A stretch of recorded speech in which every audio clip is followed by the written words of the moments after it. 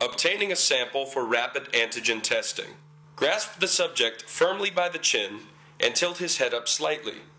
Insert the cotton tip end of the swab horizontally into the subject's nostril. The white tip of the swab should not be visible to the sample taker and should be inserted until resistance is felt. Aim the tip of the swab toward the turbinates and rotate the swab against them. This will ensure that cells, mucus, and secretions coat the tip of the swab. Withdraw the swab.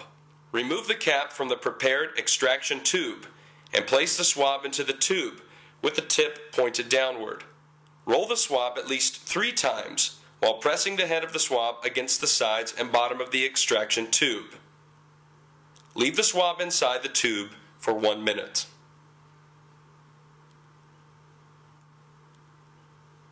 After one minute, roll the tip of the swab against the sides of the tube as you remove it. Dispose of the swab in accordance with the standard biohazard waste protocol. Open the test strip and place it with the arrows pointed downward into the extraction tube. Do not handle or move the test strip until the waiting period is complete.